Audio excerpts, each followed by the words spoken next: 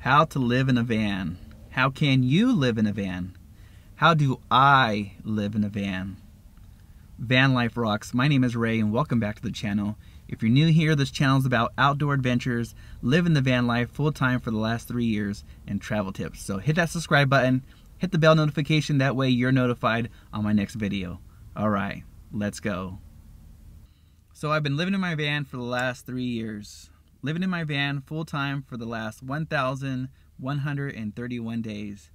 What convinced me to living in a van, right? How did I get here? How did I get here?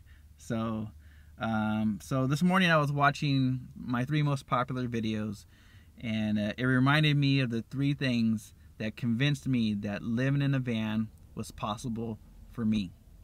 Uh, so I'm going to link those videos in the description down below. That way you could check them out. Alright, so the first video is my solar tour video. Uh, it gives you a tour of my solar system, but as soon as I realized that you could put um, solar on top of a van, um, that definitely helped convince me that living in a van was possible.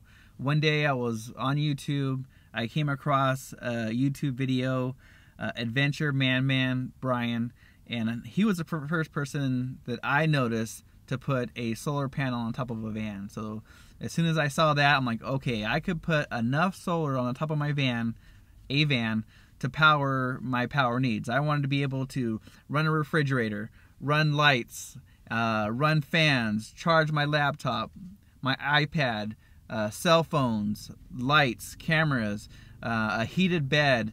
Uh, I knew as soon as I could put solar on the top of a van, you know, energy and my power needs would be possible. I didn't want to, you know, live in a van and have to go to a coffee shop to plug in, to plug in my phone, plug in my laptop so I could sit there for three hours uh, so I could charge devices. I didn't want that. I wanted to be able to plug and play. I wanted to be able to plug stuff in and not think about it. Um, you know, I, I have 500 watts of solar on the roof and enough power to you know charge all my devices without even thinking about it. So definitely solar was definitely one of the things that convinced me that living in a van full time was possible for sure.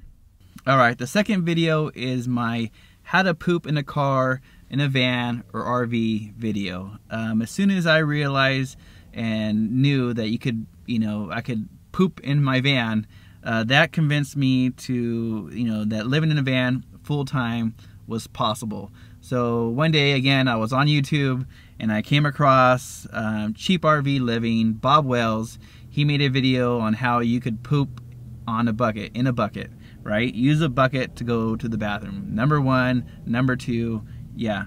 So uh, as soon as I realized that, yeah, I wanted to do that. I didn't want to live the van life where you know I'm stuck at a Walmart parking lot, and if I need to go, I have to go into Walmart to go number two, or I need to go into the gym to go to the bathroom, or you know a gas station to use the bathroom. No, I want to be able, if I need to go to the bathroom, if I need to go poop, if I need to go pee, I could just do it in my van full time. You know, if I'm out in the desert, the mountains, I didn't want to dig a hole and you know bury my poop you know i, I want to be able to poop in my van full time without needing to leave my van to go poop so uh, check out that video out um, that's my ways on how i poop in a van all right so number three is my van tour playlist uh, as soon as i realized i could build out a van so well that i could sell off my home sell most of my belongings uh, to build out a van like this,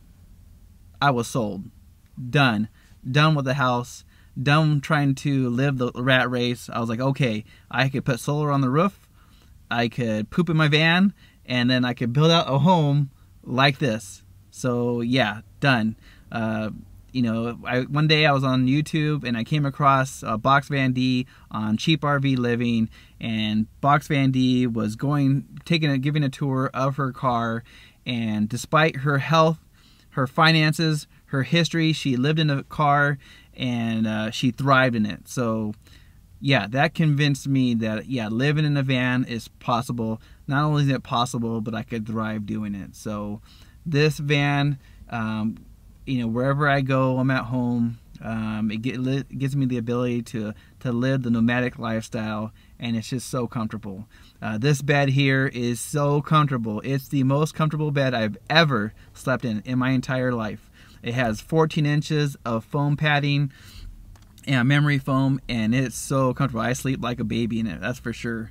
Um, but yeah, you know, I'm so fortunate uh, in the last three years living in a van full time, being able to you know have the, enough power to run all my systems, to be able to poop in my van, you know, wash up, you know, shave, you know, all that good stuff. Um, yeah, it, has been great. And uh, if I had a million dollars, I would still live in a van.